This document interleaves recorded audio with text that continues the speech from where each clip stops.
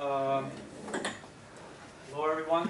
Um, my name is Manan and I'm going to present my final year thesis titled uh, Speculative Design, Handwriting in the Post-Digital Era.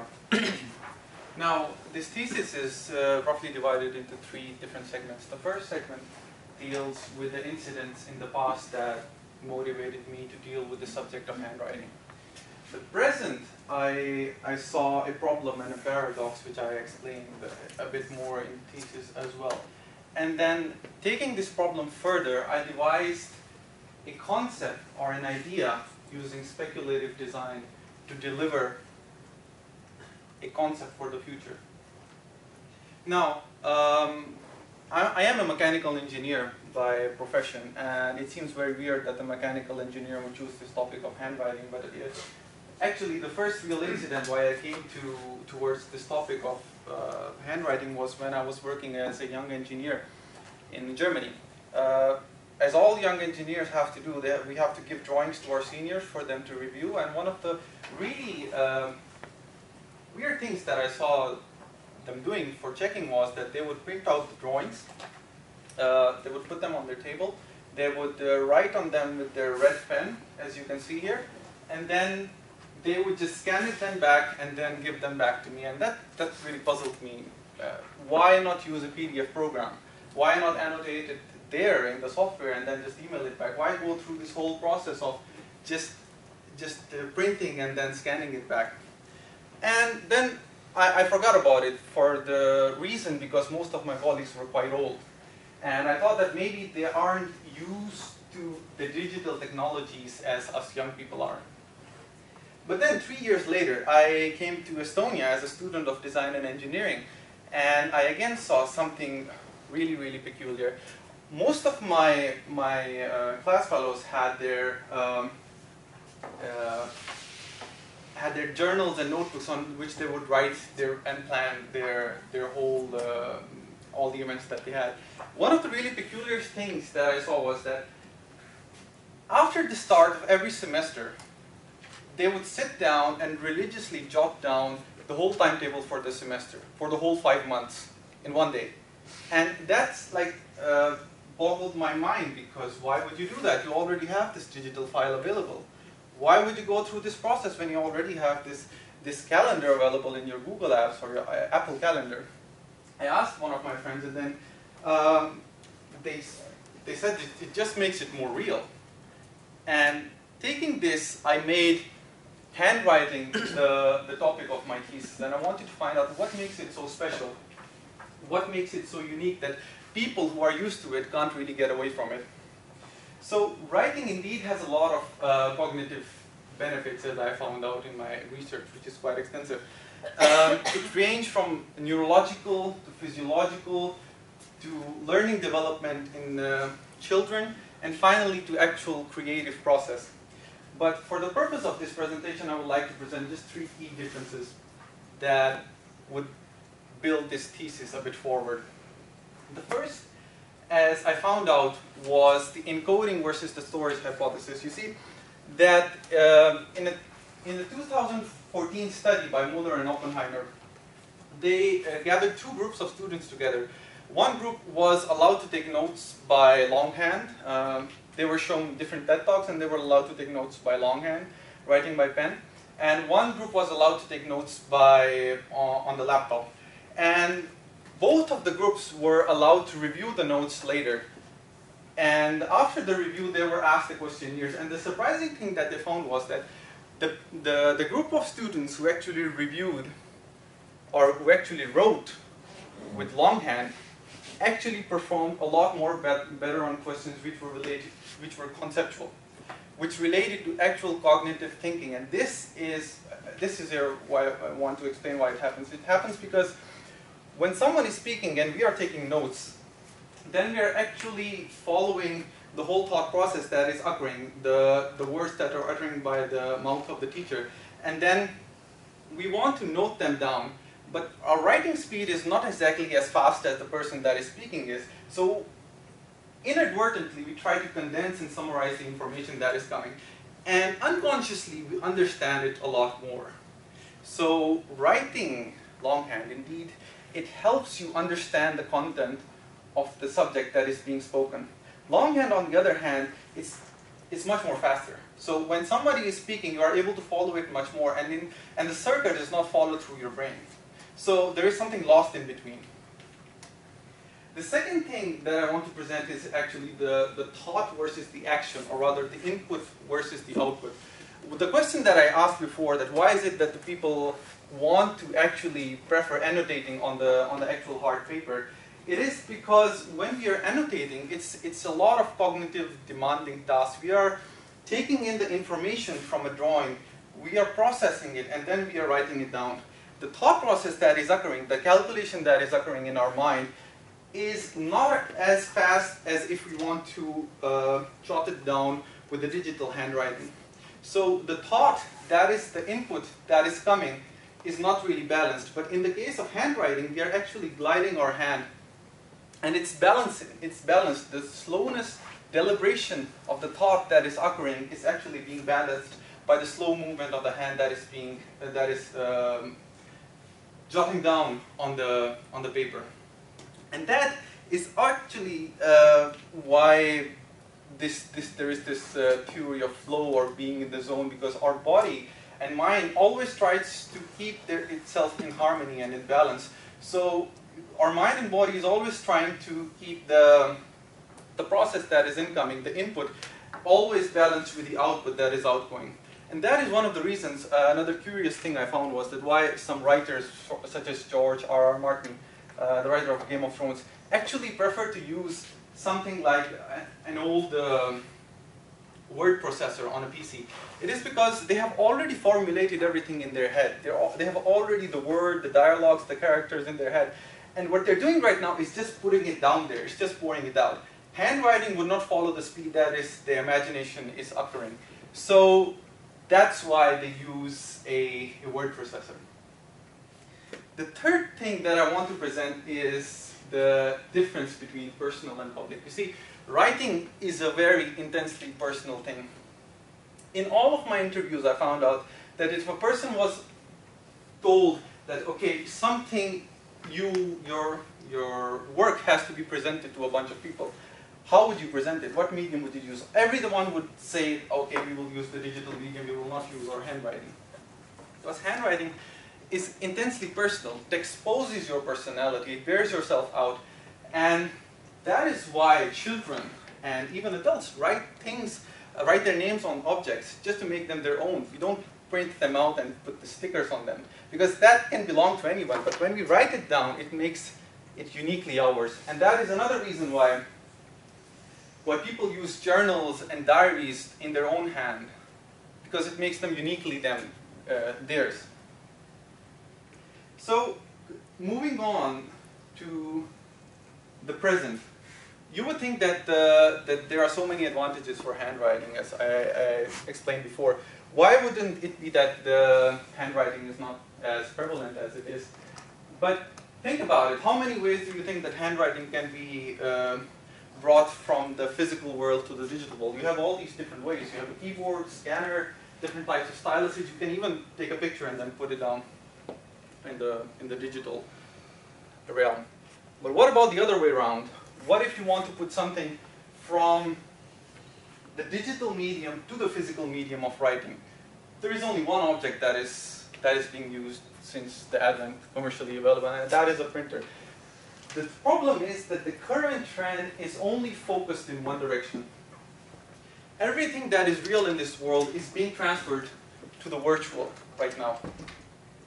That is the current technological trend. And this is creating a very big paradox here. On one hand, we have a group of people who are, who are concentrating on their diaries and on their journals. On the other hand, we have a group of people who are only using the digital, the, the digital media. And that is highlighted actually in the, in the statistics. Moleskine, the very famous uh, designer, uh, brand of uh, diaries and journals actually reported, has been reporting consistent increasing revenues for the past five years, and their revenue for 2015 was 25% more. But on the other hand, we see that the, in the UK, the survey was conducted in, by a company called Rockmill, and they concluded that one in six adults haven't written in the past six months. And this is a paradox. How is it that some people are writing more and yet we have people who have never written? And move, and then we, we think about the future. This is the present and the, the third segment, the future. How is it that the, we can define about the future? How is it that we can know about it? Uh, we have some reasonable theories presented by, for example, Carlota Perez, the theory of technological paradigms, which states that um, technological innovation occurs in discrete cycles. And these cycles are predictable. We had the, we had the revolution in industry by when Ford uh, put the assembly line for the Model T, and that started the assembly line revolution. We had the revolution when um, the microprocessor was invented in uh, the Silicon Valley. And now we are in the maturity of this phase of this uh, ICT revolution, but what about the future? From the literature, we can know that there is, there is a very high probability that the future, the next technological revolution will be in the realms of biotechnology and nanotechnology. So in short, the trend that is currently existing will reverse. Everything that is in the digital will come to the physical. And we already see that this, this happening right now with the Oculus Rift and the trend that is emerging with, uh, with augmented reality and everything. So now I know what the future is probably going to be, but I don't know how do I deal with it. And that is where I get help from Anthony Dunne and Fiona Raby in their book called uh, Speculative Everything. You see, in speculative everything, Anthony Dunne and Fiona Raby say that designers are mostly concerned today with making things that already existing technology more convenient, more sexier, and more consumable. But these guys, they, they don't think of technology or uh, they don't think of design as a medium for generating things. Rather, they think about uh, design as a tool to generate ideas. Ideas about possible futures. Futures that people would or would not want. For them, design is a means to speculate how things could be, or rather how things should be. And the way they do it is by this. The present to future is not a straight line. Rather, it's a cone. And the biggest um, and the possible uh, cone highlights is the, is the possible future. And that, in the possible future, we have everything that is either possible by science, uh, or rather we can uh, conclude that everything that is not possible by science, for example, uh, perpetual motion is not possible by science, precognition is not possible, uh, possible according to science. Everything else is included in this possible future. But then there is this plausible future. And this plausible future is dealt in alternate different scenarios in which where there are some, there, there can be a catastrophic event or there can be different events that alter the shape of the human development in a very significant way. For example, the, there is a nuclear war. Uh, what if we make contact with an intelligent alien life form? What if uh, uh, Trump becomes the president of the United States of America? All of these are like uh, plausible futures. But then the, the, the part where current designers most deal with is the probable future. And this is where we know what things are going to be. We know cars are going to be autonomous. We know that AI is going to replace jobs. We know that robotics is going to disrupt the labor industry. But how do we deal with it? There is this middle ground between probable and plausible future. And that is where speculative designers operate. What is preferable? I, I, that's quite a debatable word, but right now the preferable future is dictated by either governments or the industry who dictate that how the, the future should going to be. What if people had the ability to think about the future? What if designers consult with people, they're specialists, to find out that if they can make uh, different scenarios or futures that can, that can actually alter the course and think about it. So I had the, the brief for myself, which is um, use speculative design to develop a writing medium in, for the post-digital uh, future, obviously the, the era of nanotechnology and biotechnology, that enables handwriting yet still integrates the information technology that has happened. And develop possible scenarios for that. So I developed different characteristics that should be incorporated into the, into the media of the future that I wanted to develop. The first one is that whatever that media is going to be, it should be paper or something similar to paper. You see, because paper is actually not just a medium for observation. Unlike um, screens, which only give visual input, paper gives us input in four senses. We can smell the paper, we can touch the texture of the paper, we can hear the rustling of the paper. Paper is unique to everyone. A car mechanic writing on paper will have stains and smell of oil on, uh, on his diary. A young girl would have the smell of her lotion. In fact, paper tells stories about each person. It does not just convey information like a screen. The second thing I want to incorporate is the power of media uh, or rather pictures, how they can enrich the experience of, a, of the static handwriting. So I tried out different scenarios. I wondered what if we have the ability to seamlessly transfer the digital images from our, our digital media to the physical medium of paper. And I thought, okay, what if I write a letter with a paper and a, with a picture? And this is where I wrote a letter to my mother on my 29th birthday. And the picture on the top shows my, the first birthday I ever had uh, as a young person with all my family gathered. How would it mean, what would it mean that if, how would you change your travel diary? How would it alter that? You can put pictures on it seamlessly to show the experiences that you had while you were traveling. And finally, the third characteristic that I want to bring out is the concept of layers. Now, designers are already familiar with the concept of layers uh, in Photoshop and everything. But I want to give an example from uh, an actual work that uh, my professor did. And you see, writing, when we, we are doing creative writing, it actually follows discrete paths. It actually follows discrete uh, processes. The first is the brainstorming section where we are where we are actually accumulating information. The information is haphazard. It's not very concrete. It's not very well defined. It's going everywhere. But then the second process is consolidation, where we gather our thoughts and the final outcome is starting to emerge. And the final outcome is much more concise, it's much more um, small, and it much, has much less noise as compared to all the other previous versions. So even though these, these pages on a diary exist linearly, in actual functionality, they should be in layers. Each layer is successively building on top of each other to, to make uh, the final product. And that is why it should have storage and it should have the ability, whatever the medium is, to go beyond the layers and uh, in any layer that you want. So the final concept that I want to present is a digitally augmented paper.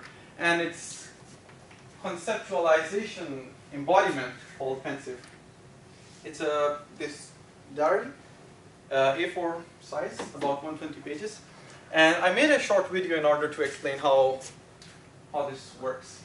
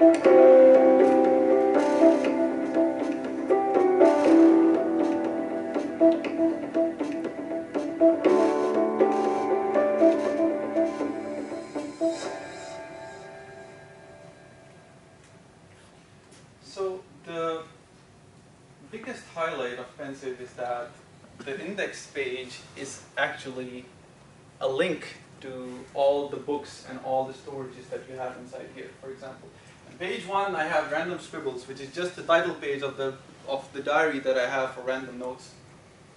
On page number five I have books, all the all the books that I have I, I show here. And on page three I have this work notebook which I can go to. So if I go to page uh, two and three and then find out the, the, personal diary and then work diary, these two are just showing the title pages of both of my diaries. If I want to go inside one level deeper, I just put my hand down there and swipe it all up. It instantly transforms it into the work diary. The whole diary actual converts into the work diary. And uh, I created different, uh, tested out on three different scenarios uh, with three different people. The first one uh, is Yunno, who's a creative designer. How would he use it in his uh, daily work? So the first thing that we see is his, his, his title page, and then he has distributed it into according to different projects that are that is he's doing. He takes images from his uh, his uh, physical uh, LCD screen and is able to put them on his uh, diary Pensive. Then he's able to annotate them and then um, change them according to their according to how he wants them to be. And then finally, he paper enables him to collaborate and discuss with different uh, his colleagues in order to find out what the possible changes can be. The second scenario is that of a, a fifth grade student. Uh, she's currently doing her homework and uh, on Pensive, and then uh, she remembers that she has to write her diary. So she turns back to her title page, and uh, she has her friends and the segments that she has made according to according to her wishes. Um, she then uh, remembers that she took a selfie with her very good friend. She puts her cell phone down and then transfers the image to the physical diary, and then she is writing the story of her day. The third scenario is uh, uh, Manan, a gym enthusiast and a voracious book reader who really likes to read a lot. Um, right now we can see that uh, he's in gym and because he has the ability to uh, put images in his diary seamlessly, he has the perfect form for exercises that he is doing and he's able to record all the weights that he has progressed. He then goes home and then uh, gets in bed and does some uh, late night reading and he finds out that he has a lot of choice between two different things and he, then he chooses speculative everything and uh, zooms into the book, finding out how the cover, and the cover actually